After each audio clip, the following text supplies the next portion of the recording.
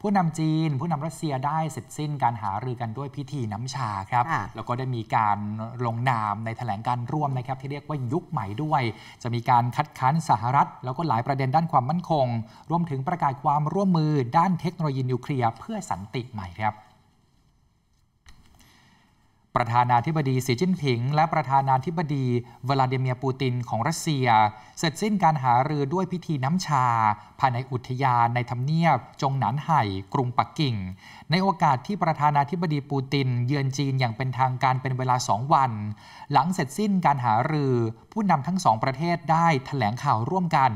ประธานาธิบดีสีกล่าวว่าจีนและรัสเซีย เห็นพ้องว่า ควรใช้วิถีทางการเมือง ยุติปัญหาวิกฤตยูเครน ซึ่งจะเป็นทิศทางที่ถูกต้อง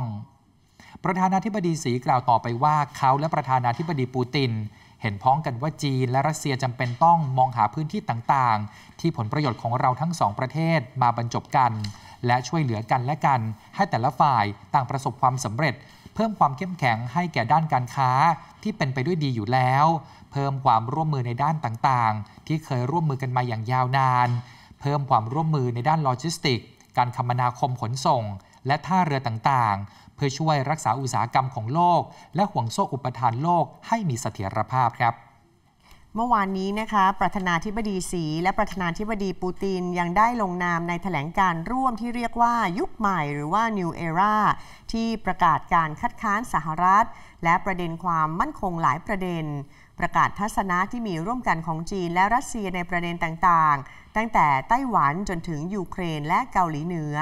รวมไปถึงความร่วมมือจีนรัสเซียในเทคโนโลยีนิวเคลียร์ใหม่ เพื่อสันติและความร่วมมือทางด้านการเงิน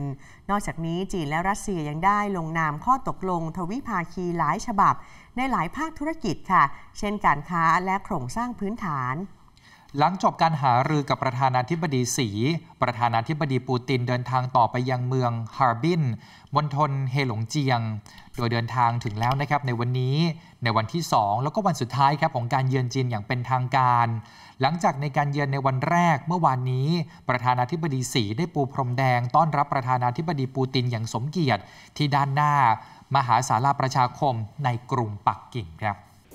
ขอบคุณที่ติดตามรับชมรายการ TNN News ข่าวเที่ยงนะครับ อย่าลืมกด subscribe กดกระดิ่ง กดไลค์ กดแชร์ ทุกช่องทางออนไลน์ของ TNN ช่อง 16 นะครับ เพื่อที่คุณจะได้ไม่พลาดรับชมรายการสด และคลิปวิดีโออื่นๆที่น่าสนใจอีกมากมายครับ